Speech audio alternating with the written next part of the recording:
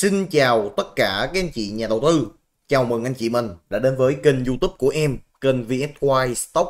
Thì kênh của em là hỗ trợ những anh chị nhà đầu tư mình về chứng khoán.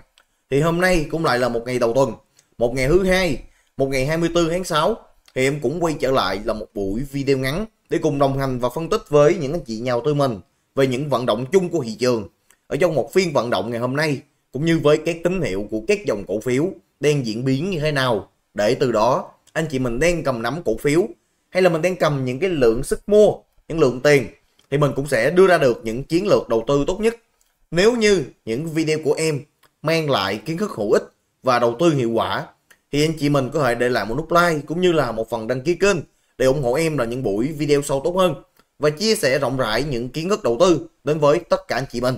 Cảm ơn mọi người rất nhiều.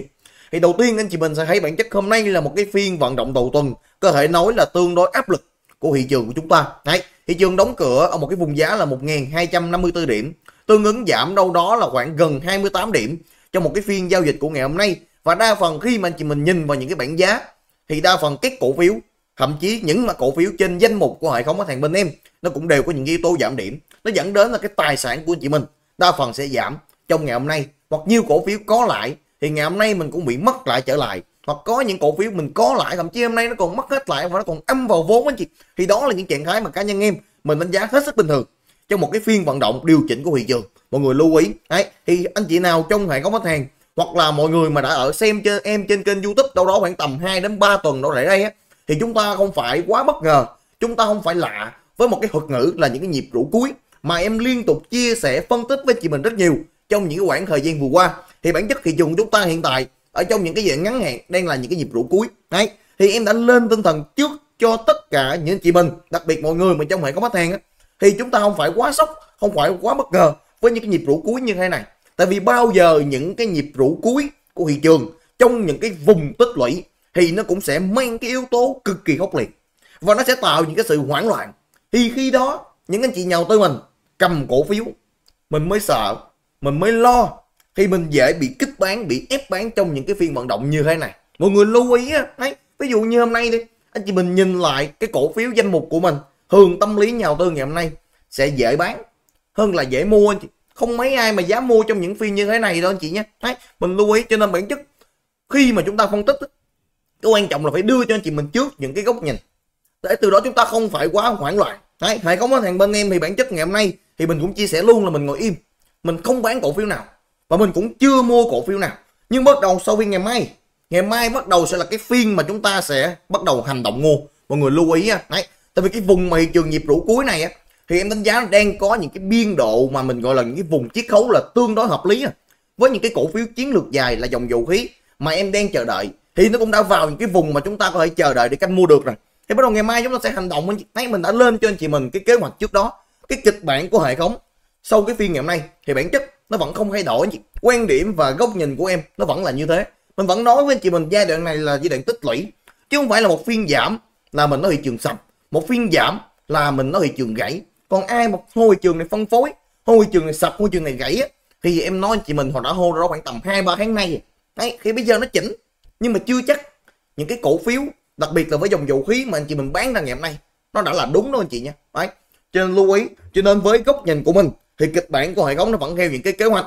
Thì những cái nhịp rũ cuối bao giờ nó cũng sẽ tạo những sự hoảng loạn để nó wash out, ép bán những cái lượng nhà đầu tư đang tham gia, những anh chị mình đang cầm cổ phiếu. Nếu như mình chưa có một cái kế hoạch chuẩn bị trước, thì kiểu gì ngày hôm nay mình nhìn những cái bảng giá, ví dụ ngày hôm nay chị mình qua nhìn những cái bảng giá đi, nhìn sẽ rất là sợ, nhìn sẽ cực kỳ tâm lý và cực kỳ áp lực. Đấy. Cho nên là ở một góc độ nào đó, thì trong cái vùng biên sideways này của thị trường chung nè, anh chị mình sẽ thấy đây là cái nhịp mà thị trường nó vượt cái vùng biên trên, thất bại, quay trở lại thì cái phiên điều chỉnh này, em nói chị mình là thị trường xác nhận những cái nhịp điều chỉnh và quay trở lại về vùng biên dưới thì nó sẽ tạo những cái nhịp rũ cuối. Tại vì trước đó đây là nhịp rũ thứ nhất nè, đây là nhịp rũ thứ hai nè, thì thường nó sẽ có ba nhịp rũ thì đây là nhịp rũ số 3 anh chị mình thấy nhịp rũ số 3 này nó kinh không?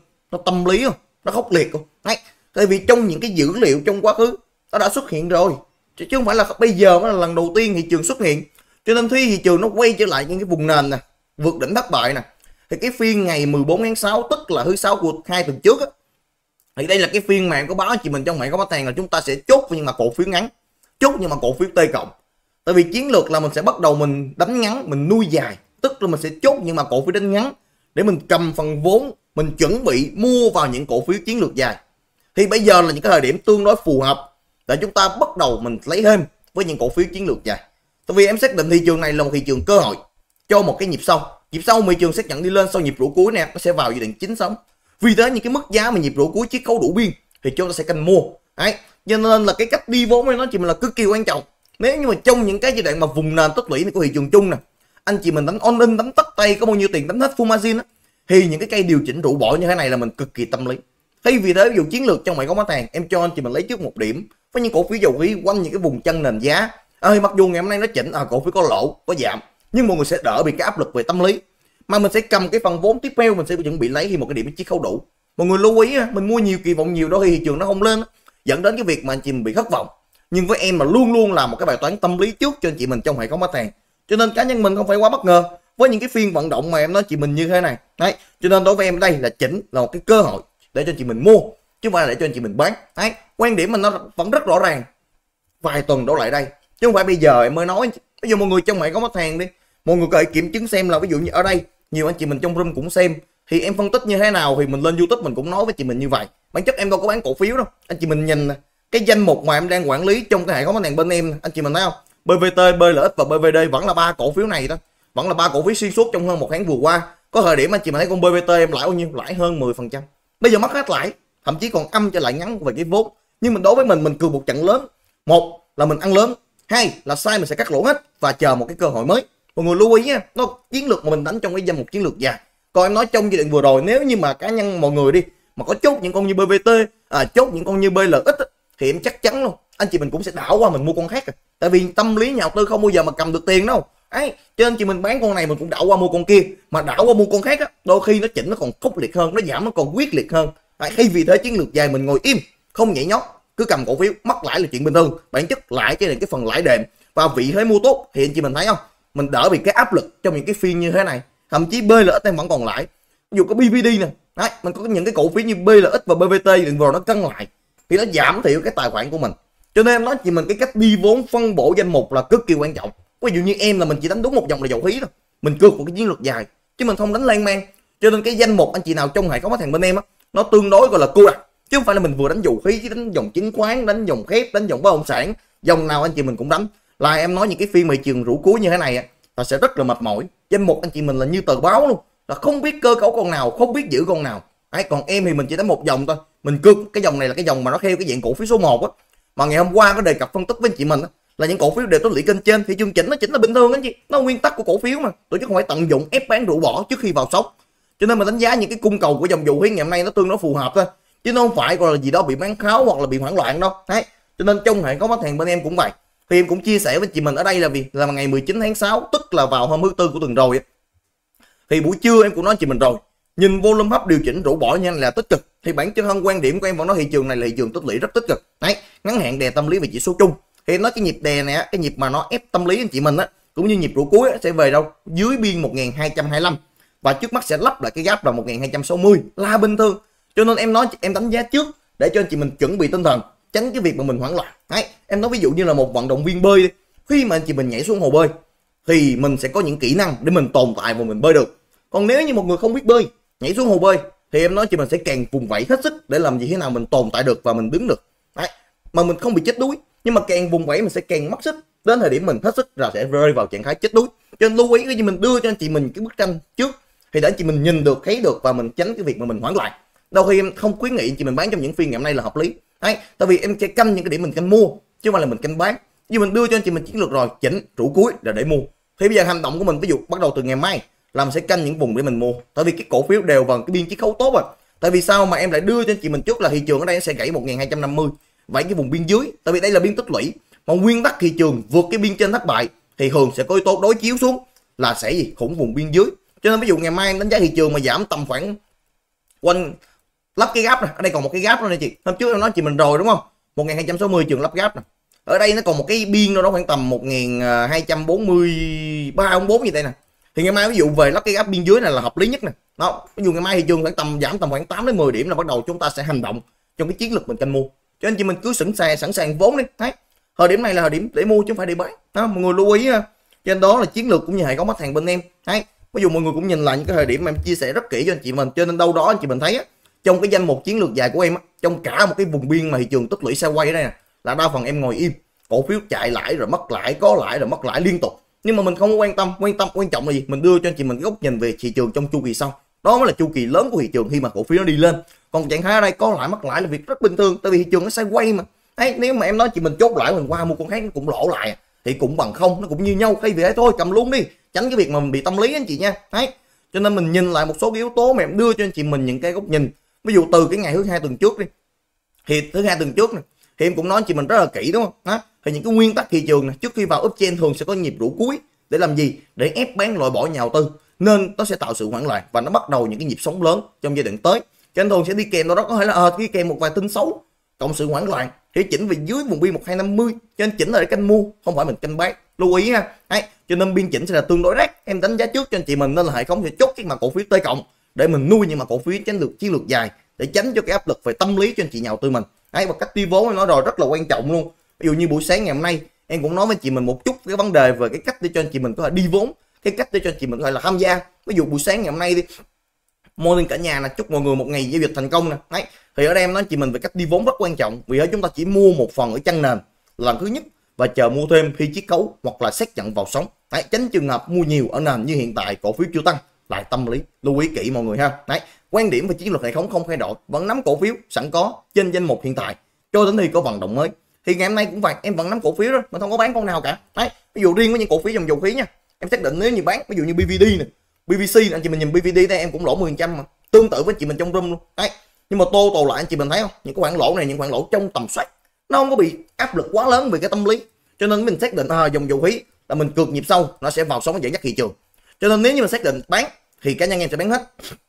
Nhưng như bán mình sẽ bán hết. Tại vì sao? Ví dụ những dòng này đúng kỳ vọng của mình mà vào sóng á. Những cổ phiếu BVS, BBT nè, BLX rồi nè đúng kỳ vọng của mình mà vào sóng á thì các mã cổ phiếu trong dòng đều đi lên và vào sóng theo nó sẽ lôi kéo nhau đi lên hết. Cho nên vì thế là mình nắm là mình sẽ nắm hết. Còn nếu như bán mình cũng sẽ bán hết. Nếu như không đạt kỳ vọng lưu ý nha. Nếu như sai chấp nhận các lỗ mắc lại và chờ một cái trận mới và chờ một cái cơ hội mới. Ngay đó chiến lược của em trong giai đoạn này. Chứ mình không đánh lan man anh nói chị mình giai đoạn này mà thực ra ấy, anh chị mình né ra được với cái dòng chứng khoán á thì đôi khi nó cũng là thành công. Anh chị mình thấy buổi chiều ngày hôm nay nó bắt đầu ra một vài cái thông tin về hệ thống KRX bắt đầu được hủy bỏ. Tái thì bản chất hệ thống KRX nó bị lỗi thời về công nghệ anh chị. Bây giờ áp dụng vào nó cũng không có hiệu quả. Đó cho nên cái việc mà hủy bỏ nó vẫn chỉ là vấn đề về sớm chiều thôi. Nhưng mà quan điểm của em đã nói với anh chị mình rất kỹ là cá nhân mình hai tháng ba tháng vừa qua mình không đánh bất kỳ một con cổ phiếu nào của dòng chứng khoán. Ấy thực ra mọi người cầm những con như BVS em nói chị mình nó vẫn tốt hơn nhiều so với những cổ phiếu của dòng dầu khí tôi sẽ nói với những cổ phiếu dòng chứng khoán.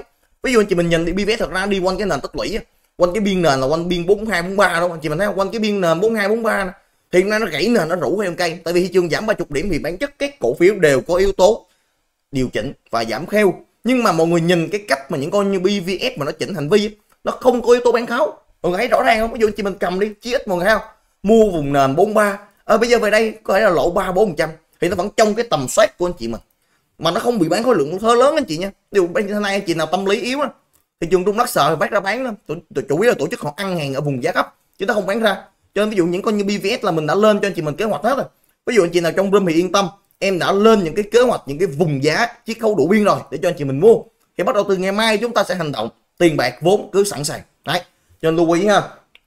Cho nên ví dụ như chị thấy à, đồng quan điểm đầu tư hoặc là anh chị nào là đang kẹp đi đang kẹp cổ phiếu dòng dầu khí hoặc là đồng quan điểm về chiến lược sống của dòng dầu khí chung với hệ thống bên em á thì chúng ta có thể là đồng hành với nhau. Đấy ngày mai sẽ đưa cho chị mình cái điểm để chị mình tham gia. À, để chị mình canh mua thêm. Anh chị nào cầm tiền muốn mua cũng được. Đấy thì chị nào tham gia mình phải liên hệ với bạn trợ lý là bạn Hải Anh.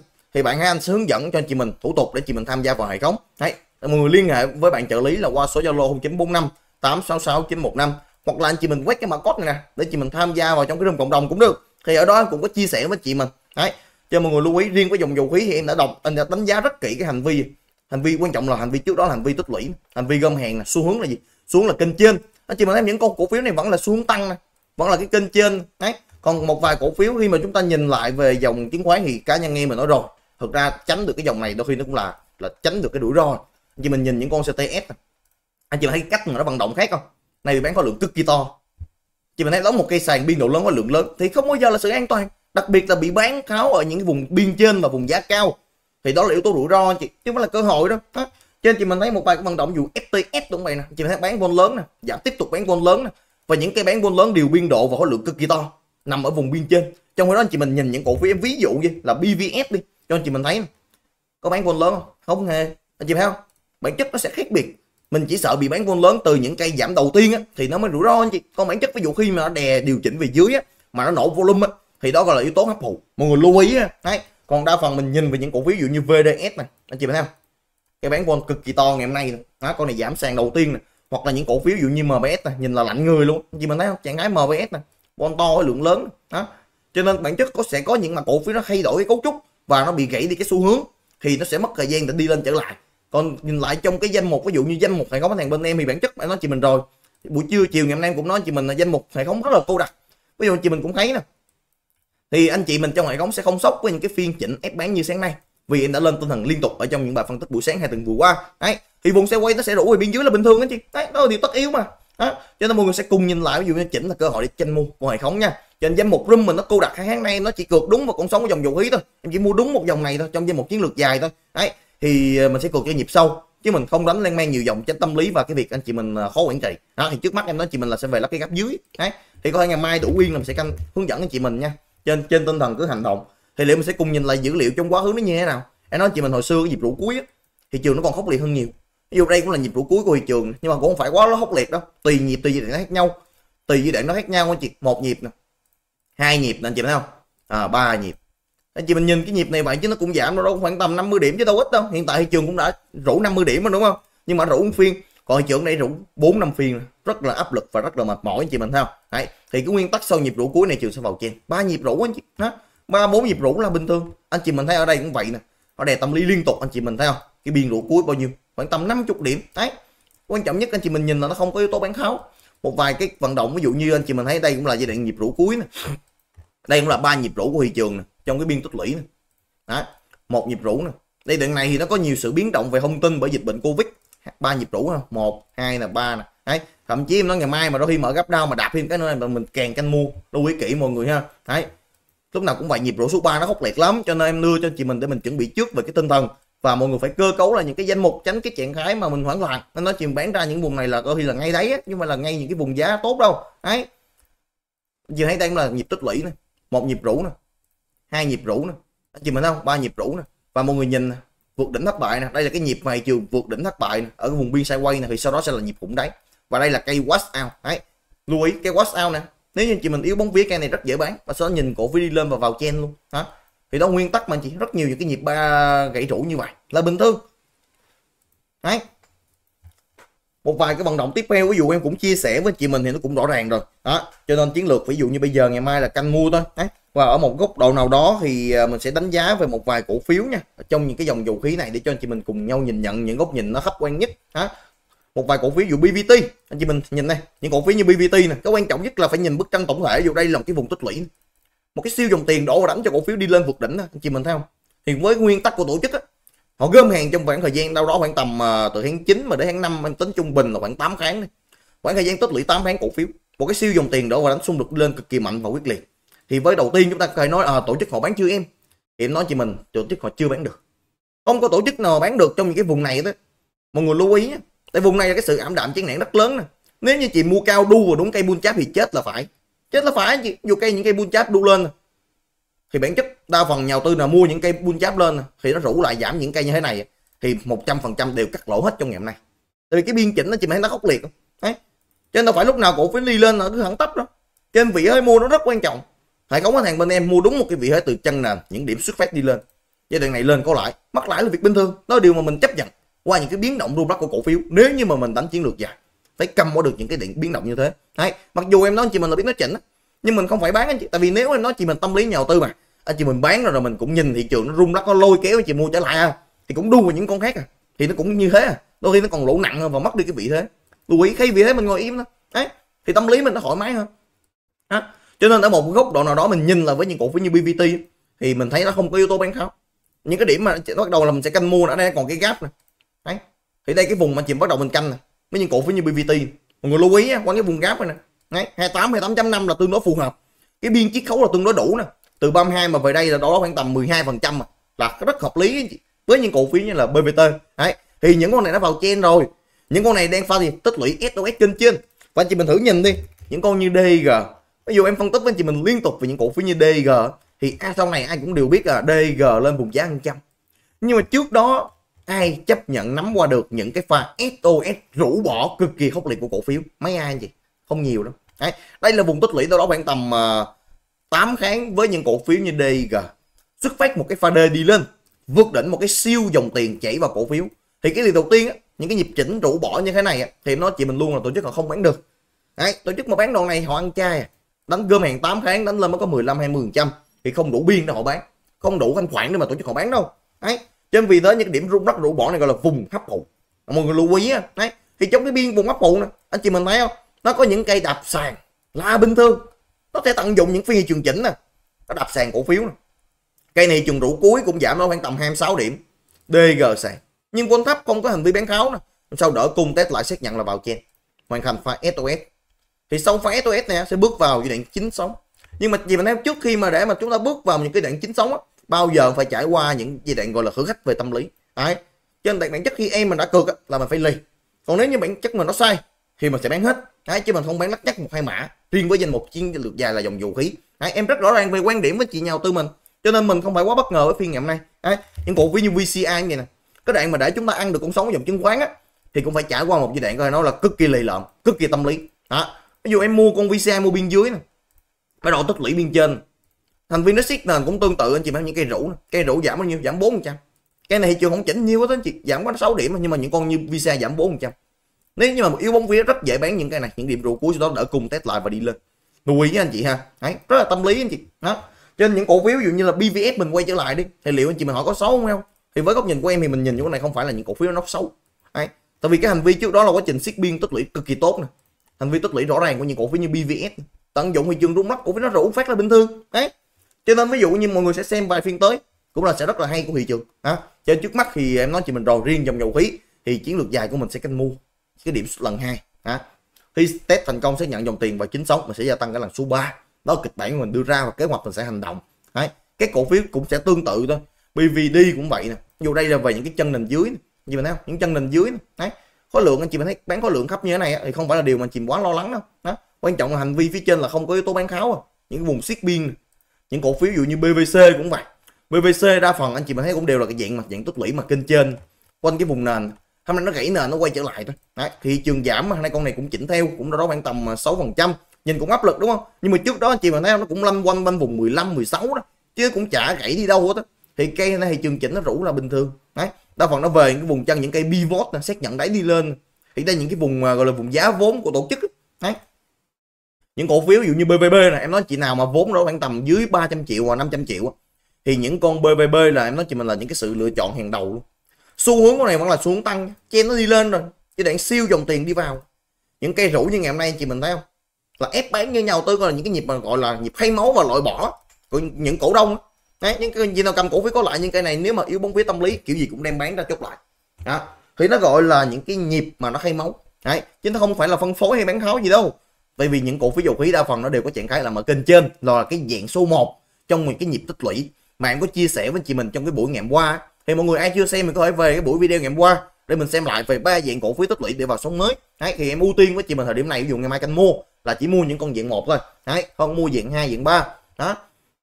Những cổ phiếu như BLX cũng vậy nè, nó vẫn trong cái biên tích lũy thôi, chứ có đi đâu đâu anh chị. Tích lũy kênh trên, anh chị mình thấy không? Đấy cho nên cũng không có lý do gì mà để em bán ra với những cổ phiếu như là BLX đó, em thì mình vẫn cầm ở đó thôi. Đấy chẳng thấy tích lũy kênh trên siết biên hấp phụ rũ bỏ lời bình thường. BSG này, BSG vùng tích lũy á. Ví dụ trước lỡ một cái đu ở bên trên nó rủ lại bắt đầu thấy tâm lý anh chị mình thấy không? Đó cho nên riêng với những cổ phiếu như BSG này, ai muốn mua cái canh rủ là mua chỉnh là mua. Ví dụ như cái này mới dụ bắt đầu nó dưới cái vùng đó khoảng vùng 22 2.5 là đầu canh là canh mua vừa. Đấy đa phần là dòng dầu khí nó đều có chuyện thái tích lũy kênh trên thôi. Đó cho nên ví dụ như dòng này nó bị thất bại, nó bị gãy hết thì bản chất em nói thị trường này cũng không có còn gì mà để đánh luôn anh chị. Đó, tại vì ra nếu như mình không đánh vào dòng dầu khí thì nó cũng không có dòng nào nó phù hợp những cái tiêu chí về yếu tố sống dòng để mà mình lựa chọn đâu. Đấy. Thì đó là góc nhìn và chiến lược của hàng có thằng bên em còn ví dụ như trong danh mục tay cộng thì có một vài mã như TCH đi. Hôm trước cây trận này quay phủ định lại. Đấy, thì thị trường này rung lắc thì những con mang tính đầu cơ như TCH á, thì nó cũng thường dễ có sự biến động. Nhưng về đây mình xem cái cách nó phản ứng như thế nào liệu nó có bật như một cái quả tên hay không? Nếu như mình lực bật yếu, thì hồi lên chúng ta sẽ chốt lại, chúng ta sẽ bán anh chị ha. Tại vì hôm trước mình mua là quanh cái vùng nền dưới đó, sau điểm gãy đủ, xác nhận vào điểm pivot đây mình mua nè. Đấy. Những cổ phiếu như hoa sen cũng vậy. Những cổ phiếu như hoa sen thì là những cổ phiếu kênh trên. Thì bản chất thị trường rung đó nó cũng có những sự phản ứng. Thì mình xem sau những cây ngày hôm nay thì cái quá trình cổ phiếu nó bật lại như thế nào. Thì mình sẽ đánh giá tiếp với anh chị mình ha. Đấy.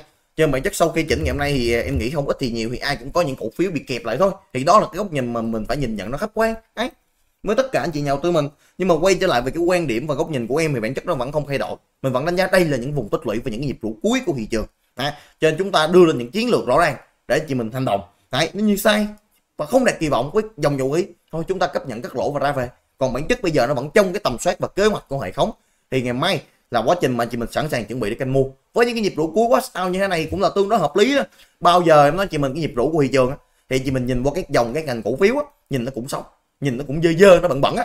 Thì đó mới là những cái yếu tố tâm lý mà tổ chức họ mong muốn ép bán nhà đầu tư nó vận động hết sức bình thường đó chị đấy. Còn một vài cổ phiếu, ví dụ như những con công nghệ, những con kinh trên thì đâu đó mọi người cũng cẩn thận nha. Nhìn cổ phiếu FPT là có chạy nước rút nè, có những cây vôn lớn vôn lớn bắt đầu túa ra nè, thì cũng cẩn thận. Ai em thì không khuyến khích chị mình mua ở vùng này thôi. Hả cổ phiếu FPT là chỉ vôn lớn túa ra túa ra liên tục vùng dạo, dao động khối lượng lớn là vôn lớn nè. Thì nó cũng không phải là cái sự an toàn để cho anh chị mình à, tham gia hoặc là mình có nắm bắt đâu. À hôm nay những cổ phiếu rơi vào trạng thái gọi là bị bị quá chửi trên những cái diễn đàn như DG lại đỡ giáp xanh những con như VND lại xanh không có giảm nữa nè. Những con như BDR lại xanh những cổ phiếu này rơi vào diện quá chửi hôm trước em cũng nói anh chị mình rồi. Ví dụ anh chị mình thấy không nhìn những con như VND mà xấu xấu dơ dơ như thế này mà anh chị mình bắt đầu mà yếu tâm lý mà đi bán ra thì là ngay đấy, ha thì đó những góc nhìn mà em chia sẻ với anh chị mình rất rõ ràng về quan điểm của mình anh chị nhé đó thì đó là danh mục hệ thống đàn bên em mọi người thấy không? Quan trọng nhất là cái chiến lược mình là gì cách đi vốn mình ra sao. Thì em thì đánh nó cô đặc thôi chứ mình không có đánh nó dàn trải trong thời điểm mà thị trường đang xoay quay và mình chờ những cái trạng thái trong một cái nhịp chính sống thì đó mới là cơ hội lớn nhất cho anh chị mình canh để cho mình thay mình đầu tư anh chị ha. Đấy. cho anh chị thấy à, đồng quan điểm đầu tư ví dụ ngày mai em sẽ canh kỹ cho hệ thống bất tan thì anh chị mình có tham gia vào đấy tham gia vào hệ thống bất tan bên em. Thì chúng ta sẽ đồng hành với nhau. Đấy nếu mọi người có đang chung quan điểm về dòng dầu khí thì mọi người để lại phía một trong buổi video bên dưới. Cảm ơn anh chị mình rất nhiều. Chúc anh chị mình buổi tối vui vẻ bên người thân và gia đình. Hẹn gặp lại mọi người trong buổi video ngày mai. À buổi livestream ngày mai. Ngày mai chúng ta sẽ gặp lại nhau 20 giờ ở buổi livestream mọi người nhé. Xin chào cả nhà.